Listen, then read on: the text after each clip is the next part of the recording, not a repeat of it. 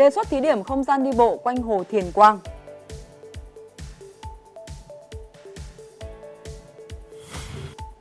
Di tích quốc gia đặc biệt chùa Tây Phương kêu cứu.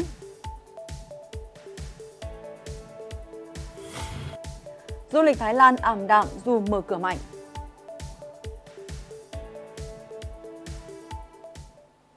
Kính chào quý vị và các bạn. Quý vị đang theo dõi bản tin văn hóa du lịch của truyền hình Đài Tiếng Nói Việt Nam VOVTV. Thưa quý vị, ngày 29 tháng 3, đoàn công tác của Bộ Văn hóa, Thể thao và Du lịch đã làm việc với tỉnh Phú Thọ về công tác phát triển văn hóa, thể thao và du lịch trên địa bàn tỉnh. Tại buổi làm việc, Bộ trưởng Bộ Văn hóa Thể thao và Du lịch Nguyễn Văn Hùng đánh giá cao tỉnh Phú Thọ đã thực hiện tốt công tác bảo tồn và phát huy những giá trị văn hóa, từng bước xây dựng tỉnh Phú Thọ phát triển, mang bản sắc đặc trưng riêng. Đồng chí Nguyễn Văn Hùng cũng đã gợi mở một số định hướng về phát triển văn hóa, thể thao, du lịch để địa phương tham khảo trong thời gian tới. Trong đó, đối với lĩnh vực văn hóa, tỉnh nên nghiên cứu triển khai đề tài khoa học để tôn vinh phẩm chất, văn hóa đặc trưng của con người vùng đất tổ. Trước đó, đoàn công tác đã đến kiểm tra các hạng mục, công trình tại khu Liên hợp Thể dục Thể thao tỉnh, phục vụ đăng cai môn bóng đá nam SEA Games 31. Từ ngày 9 tháng 4 này, doanh nghiệp tổ chức hoạt động trong lĩnh vực du lịch sẽ được hỗ trợ một phần kinh phí đào tạo, bồi dưỡng, nâng cao trình độ kỹ năng nghề cho lao động nghề du lịch. Cụ thể, đối với người tham gia khóa đào tạo nghề đến 3 tháng, mức hỗ trợ tính theo mức thu học phí của cơ sở đào tạo nghề nghiệp và thời gian học nghề thực tế, nhưng tối đa không quá 4 triệu rưỡi một người một khóa đào tạo. Đối với người tham gia khóa đào tạo nghề trên 3 tháng, mức hỗ trợ tính theo tháng, mức thu học phí và thời gian học nghề thực tế nhưng tối đa không quá 1 triệu rưỡi một người một tháng và thời gian hỗ trợ tối đa không quá 6 tháng. Chiều nay tại Hà Nội, Sở Du lịch, Sở Văn hóa Thể thao và Du lịch Quảng Bình, Quảng Trị, Thừa Thiên Huế, Quảng Nam, Đà Nẵng phối hợp Hiệp hội Du lịch 5 tỉnh, thành phố tổ chức hội nghị giới thiệu điểm đến 5 địa phương với chủ đề Miền di sản diệu kỳ. Hội nghị giới thiệu điểm đến 5 địa phương là hoạt động quảng bá hình ảnh du lịch của 5 địa phương với các di sản, sản phẩm du lịch độc đáo, miền Trung diệu kỳ, tươi mới và giới thiệu các chương trình kích cầu, các sản phẩm du lịch mới trong thời kỳ bình thường đến các công ty lữ hành, nhân dân Hà Nội, khách du lịch trong nước và quốc tế. Qua đó tiếp tục củng cố nhận diện, khẳng định thương hiệu điểm đến hấp dẫn, miền di sản diệu kỳ tại thủ đô Hà Nội, trung tâm chính trị, kinh tế văn hóa của đất nước, góp phần thu hút khách du lịch và nhà đầu tư Hà Nội đến các tỉnh miền Trung, thúc đẩy sự phục hồi, tăng trưởng và đưa du lịch các tỉnh trở thành ngành kinh tế mũi nhọn. Khi tình hình du lịch trở lại bình thường thì với những cái vấn đề về thuận lợi về giao thông à, và những cái điều khác, đặc biệt là năm tỉnh miền Trung chúng tôi hồi tụ đầy đủ các cái sản phẩm loại hình du lịch, đó là loại hình du lịch biển, du lịch nghỉ dưỡng, du lịch vui chơi giải trí, du lịch thám hiểm khám phá thiên nhiên à, rồi loại hình du lịch trải nghiệm à, du lịch tìm hiểu văn hóa lịch sử du lịch cộng đồng vân vân à, với những cái thuận lợi và hấp dẫn của những cái như là thu hút của vấn đề về các cái ẩm thực rất là đặc biệt và các cái sản phẩm du lịch mới. Thì à, bên cạnh giới thiệu các sản phẩm du lịch mới của các địa phương thì chúng tôi cũng muốn tổ chức cái hội nghị này để cho các cơ hội cho các cái doanh nghiệp công bố các cái chương trình kích cầu à, công bố các cái ờ, vấn đề về những cái giá ưu đãi cho các cái sản phẩm du lịch. À, ngoài những cái giá ưu đãi hấp dẫn thì còn cũng công bố thêm các cái chất lượng dịch vụ được làm mới và được à, tổ chức tốt hơn thuận lợi hơn. À, các cái combo rất là hấp dẫn cho với du khách. Trong những năm qua, du lịch năm tỉnh miền Trung đã có những sự tăng trưởng ấn tượng và vươn lên trở thành một trong những điểm sáng của du lịch Việt Nam và khu vực châu Á, với khoảng 20 cho tới 25 triệu lượt khách một năm, trong giai đoạn 2016-2019. Với xu thế du lịch xanh, du lịch thiên nhiên hậu Covid-19, miền di sản diệu kỳ Quảng Bình, Quảng Trị, Thừa Thiên Huế, Quảng Nam, Đà Nẵng sẽ tiếp tục là lựa chọn hàng đầu, điểm phải đến của khách du lịch và hứa hẹn sẽ phục hồi tăng trưởng mạnh mẽ trong thời gian tới. Với những hàng cây bằng lá nhỏ xanh mướt trong tiết xuân, con đường ven sông Tô Lịch tại thủ đô Hà Nội đã trở thành điểm check-in mới, thu hút nhiều người dân đến tham quan và chụp ảnh. Đường vành đai 2, đoạn ngã tư Láng, Cầu Giấy, Bưởi, vài năm trở lại đây được cải tạo, làm đẹp bằng hàng cây bàng Đài Loan, còn gọi là bàng lá nhỏ. Trong tiết xuân ấm áp, hàng cây chuyển màu xanh non căng tràn sức sống, khiến con đường ven sông Tô Lịch bỗng trở thành không gian độc đáo, là điểm hẹn lý tưởng cho người dân thủ đô đến tham quan, dạo chơi và chụp hình lưu niệm. Điểm đặc biệt nhất có lẽ là cái hàng cây xanh mướt như thế này, nó giống một cái khung cảnh giống như bên Hàn Quốc. Do vậy là đây sẽ là một điểm check-in do khá là thú vị đối với các bạn trẻ. Em thấy mọi người chụp lên thấy lá xanh mà em cây có lá tán lá xanh mà tán lá nó đều hàng cây thì nó nói chung là mọi người ca ngợi là là là nó con đường nó rất là đẹp rất là em thấy nó uh, cũng, cũng lãng mạn cũng thơm mộng ấy. Bảng lá nhỏ thuộc cây thân gỗ cỡ nhỡ, vỏ có màu nâu nhạt, cây có tán lá đẹp, nhỏ gọn, các cành ngắn, mọc theo hướng trích lên tạo vòng tán vừa phải. Trung bình mỗi cây cao từ 10 đến 20 mét, chiều cao vút ngọn từ 6 đến 8 mét. Với tán đẹp, lá nhỏ, bàng lá nhỏ khi dụng ít gây ô nhiễm, thân cây thẳng nên hạn chế được gãy đổ. Do đó, bàng lá nhỏ được lựa chọn để trồng thay thế những cây phong lá đỏ tại nhiều tuyến đường của thủ đô Hà Nội, trong đó có điểm đến xanh được ví như con đường châu Âu tại Hà Nội này.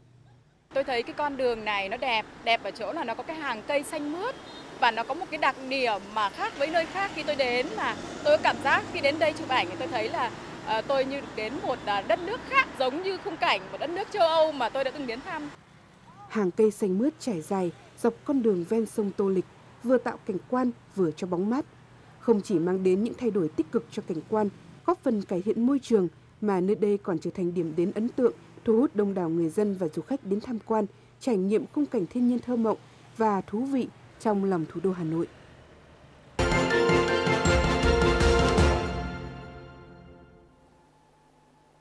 Sở Văn hóa và Thể thao Hà Nội vừa có văn bản gửi Ủy ban nhân dân thành phố Hà Nội về việc xem xét đề án thí điểm tổ chức không gian phố đi bộ văn hóa quanh hồ Thiền Quang. Theo đó, không gian đi bộ sẽ gồm phố Trần Nhân Tông, đoạn từ phố Quang Trung đến Trần Bình Trọng và khu vực phụ cận như công viên Thống Nhất, vườn hoa, đường dạo quanh Hồ Thiền Quang, nhà văn hóa Thanh Thiếu Niên. Thuộc địa phận quận Hai Bà Trưng nhằm thúc đẩy kinh tế ban đêm và cải thiện bộ mặt đô thị trên địa bàn.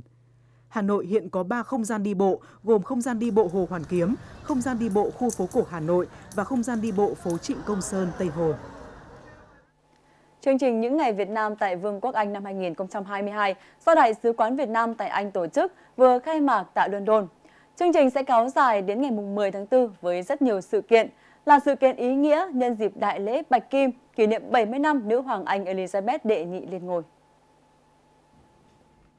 Những ngày Việt Nam tại Vương quốc Anh gồm chuỗi các hoạt động giao lưu văn hóa, xúc tiến thương mại và đầu tư, thúc đẩy hợp tác trong các lĩnh vực giáo dục đào tạo, chuyển đổi xanh, năng lượng tái tạo, khởi nghiệp, sáng tạo, đồng thời quảng bá du lịch Việt Nam trong bối cảnh đất nước bắt đầu mở cửa trở lại đón khách quốc tế. Hầu hết các sự kiện được tổ chức tại London, trong đó nổi bật là đêm nhạc Việt Nam tươi đẹp, triển lãm tranh thế giới rộng lớn trong mắt trẻ thơ, triển lãm tranh đương đại Việt Nam quê hương, Diễn đàn Đầu tư Việt Nam và Diễn đàn Du lịch Việt Nam giao lưu thể thao hữu nghị Gôn Việt Nam Anh. Chùa Tây Phương thuộc xã Thạch Xá, huyện Thạch Thất, thành phố Hà Nội được công nhận là di tích quốc gia đặc biệt vào năm 2015. Tuy nhiên hiện nay chùa đang bị xuống cấp nghiêm trọng, mái ngói xô lệch và rột nhiều nơi. Kèo cột trong chùa mối mọt có nguy cơ sụp đổ bất cứ lúc nào. Nhiều pho tượng cổ đang dần hư hại nhìn đó nhá nó vẫn còn đất đấy mà đất mối nó đun vẫn còn đấy. Nó ở bên ngoài thì mình còn đánh được nó nhỉ? Thế là nó ăn ở bên trong cái vỏ bên ngoài rất là rộng nó ở trong nó rộng thế là vô tình lúc bấy nó sập. Buồn lắm. Nó không nhà chùa không có thể uh, tùng tu được. Nhà chùa có tiền thì nó có giới hạn thôi. Đó là trăn trở của những người dân đang sinh sống quanh khu di tích quốc gia đặc biệt chùa Tây Phương. Còn theo vị trụ trì chùa Tây Phương, Hiện mối mọt đã ăn mòn từ chân cho đến mái chùa. Nhà chùa cũng đã tìm mọi cách chống mối nhưng vẫn không hiệu quả. Thế đổ nhưng mà đây nó là đất mối sợ lắm. Ở đây mà thầy cho một ví dụ giờ mưa này là gãy phải ba bốn lần đi kiểm tra. Sáng thì không, trưa nó lại dựng lên rồi. Những cái pho tượng ấy bà mà nó không vào nó rưỡi ấy nó rút thế này lại nó leo lên tượng thì mình không ấy thì tượng đổ luôn.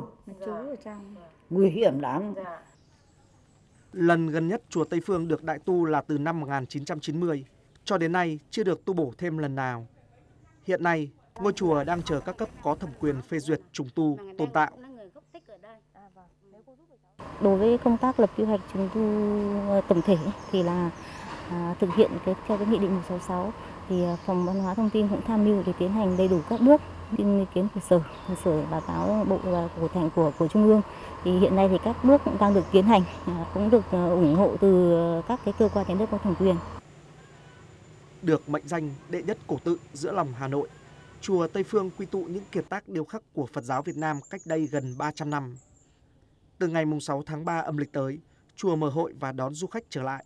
Di tích quốc gia đặc biệt này đang từng ngày chờ được trùng tu để giữ lại vốn cổ và hơn hết là đảm bảo an toàn cho du khách khi đến đây tham quan. Hà Giang, vùng đất thiêng liêng nơi địa đầu Tổ quốc, không chỉ nổi tiếng bởi những thắng cảnh thiên nhiên tuyệt đẹp mà còn là điểm du lịch hấp dẫn bởi nhiều di tích lịch sử giá trị. Phà lạc trên đỉnh đồi thuộc thôn Làng Nùng, xã Đạo Đức, huyện Vị Xuyên, cách thành phố Hà Giang khoảng 9 km về phía tây nam. Chùa Sùng Khánh hay còn gọi là Chùa Làng Nùng là một trong những di tích lịch sử, văn hóa quan trọng bậc nhất của tỉnh được nhiều người biết đến.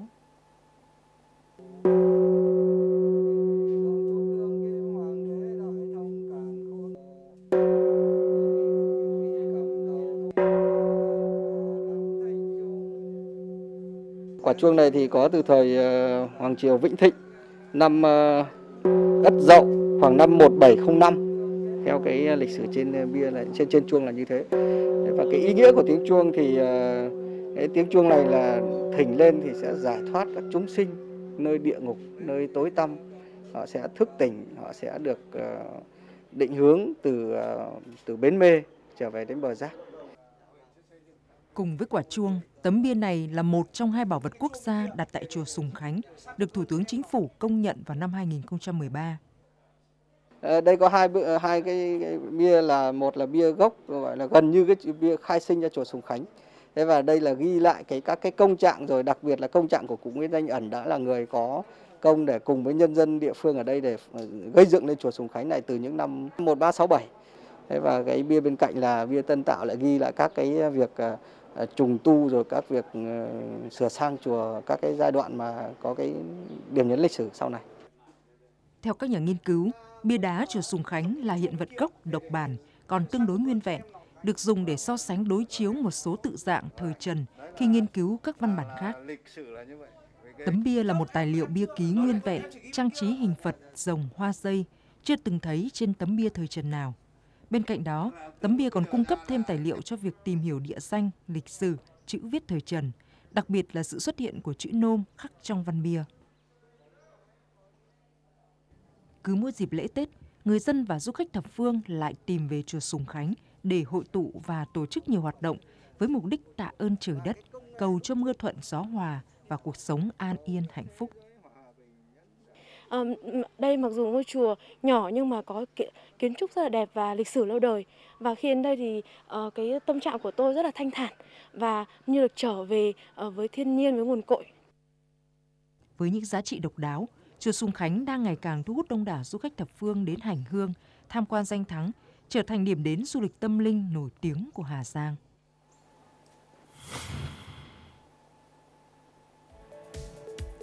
du lịch Thái Lan ảm đạm dù mở cửa mạnh.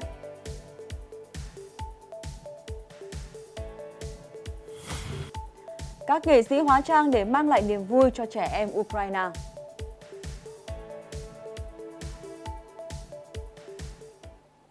Theo Hội đồng Du lịch Thái Lan, chỉ số du lịch trong quý đầu tiên của năm 2022 tiếp tục giảm và điều này có thể vẫn tiếp diễn vào quý tiếp theo.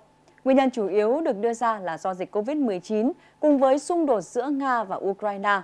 Tin của phóng viên thường trú Đài Tiếng Nói Việt Nam tại Thái Lan. Ông Chamnan, Chủ tịch Hội đồng Du lịch Thái Lan cho biết, các nhà khai thác du lịch đang vật lộn để duy trì hoạt động kinh doanh khi lượng khách vẫn chưa phục hồi hoàn toàn do các quy định về du lịch hiện hành. Hội đồng Du lịch Thái Lan đã thực hiện một khảo sát lấy ý kiến 200 khách du lịch từ tháng 2 tới tháng 3. 71% số du khách này cho rằng, Việc xét nghiệm COVID-19 khi tới Thái Lan và việc phải ở trong khách sạn một đêm để chờ kết quả là một quá trình rắc rối. Trong một cuộc thăm dò khác được thực hiện trong số 740 nhà khai thác cho thấy, các địa điểm giải trí nơi bị ảnh hưởng nhiều nhất bởi đại dịch có mức độ tin cậy thấp. Ông Chamnan cho biết, du lịch Thái Lan phải duy trì 40% so với mức của năm 2019 là năm trước khi xảy ra đại dịch để duy trì toàn ngành. Ông cũng đề nghị chính phủ Thái Lan nhanh chóng loại bỏ các thủ tục phức tạp để dễ dàng phục hồi ngành du lịch càng sớm càng tốt.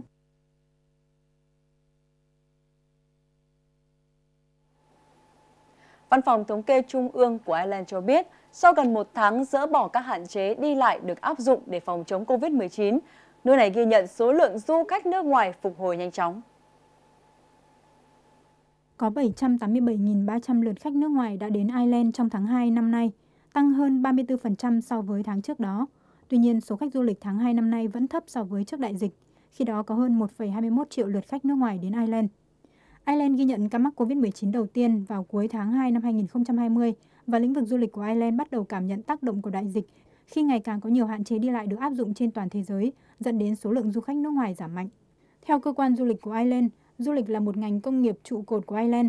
Vào năm 2019, gần 9,7 triệu lượt khách nước ngoài đã đến Ireland, mang về hơn 5,1 tỷ euro, tương đương 5,6 tỷ đô la Mỹ cho lĩnh vực khách sạn của nước này. Tại thành phố Kharkov, Ukraine, à, một số nghệ sĩ hóa trang thành những nhân vật trong truyện và phim để mang lại niềm vui cho những em nhỏ đang phải lánh nạn tại một ga tàu điện ngầm trong cuộc xung đột giữa Nga và Ukraine. Bộ ba nghệ sĩ hóa trang thành người nhện, người rơi và chú thỏ hồng để mang lại niềm vui cho các em nhỏ đang phải lánh nạn. Chúng tôi là ba chàng trai táo bạo, khỏe mạnh và vui tính. Chúng tôi quyết định giúp các em nhỏ bằng bất cứ điều gì có thể. Chúng tôi có thể mang lại niềm vui và nụ cười và sự giúp đỡ. Chúng tôi không bỏ rơi những đứa trẻ của mình. Các em nhỏ chơi với các siêu anh hùng và cười khi họ nhảy múa, ném đồ chơi vào nhau. Bầu không khí bây giờ hoàn toàn khác. Bạn có thể thấy các bạn nhỏ tràn đầy năng lượng, rất năng động và sẵn sàng tham gia. Chúng tôi rất vui khi thấy điều này. Ga tàu điện ngầm mà bộ ba siêu anh hùng ghé thăm đã trở thành nơi trú ẩn của nhiều người. Các gia đình ngủ trong lều ngay trên sân ga. Ngồi trên băng ghế trong ga tàu điện ngầm, em Katia, 12 tuổi, cố kìm nước mắt. Em đang phải nghỉ học. Em nhớ nhất là các bạn cùng lớp của mình. Nhiều bạn đã sang nước ngoài, một số thì vẫn ở Kharkov, có bạn thì vẫn ở đâu đó ở Ukraine.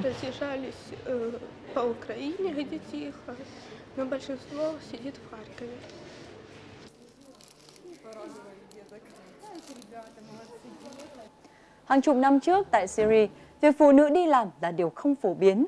Tuy nhiên vượt qua rào cản xã hội, hai nghệ nhân theo tay lâu đời ở đất nước này đã kiên trì theo đuổi sự nghiệp của mình và trở thành những bậc thầy trong nghề. Hai chị em bà Raba và Rafa Hamadala bắt đầu công việc kinh doanh của mình cách đây 50 năm sau khi nhìn thấy những người phụ nữ bán hàng rong trong một chuyến đi đến Italia. Mặc dù hồi đó, phụ nữ Syria đều ở nhà chăm sóc gia đình và việc họ đi làm không được coi là điều bình thường phổ biến ở Syria. Tôi trở về với ý nghĩ rằng mình phải làm những gì họ làm. Tôi cảm thấy họ tiến bộ hơn. Vì vậy tôi gặp bố tôi và nói với ông rằng tôi muốn mở một cửa hàng. Nhưng ông lại cho tôi tiền để tôi ở nhà và tôi đã từ chối. Tôi đã khóc và muốn mở cửa hàng. Tôi không muốn tiền. Việc mở cửa hàng rất quan trọng với tôi, dù hồi đó cha tôi làm ăn được. Quyết tâm theo đuổi mong ước của mình, Giờ đây, hai chị em bà Hamadala đều đã trở thành những nghệ nhân bậc thầy về thêu tay ở Syria. Sheikh Anka chỉ nghệ nhân lâu đời nhất trong ngành. Có thể sẽ có những người giỏi hơn chúng tôi xuất hiện trong tương lai. Điều đó sẽ không làm chúng tôi buồn, nhưng họ sẽ không phải là những người đầu tiên trong nghề. Bên cạnh đó, chúng tôi đã được truyền nghề này từ tổ tiên. Cụ nội của tôi cũng làm nghề này.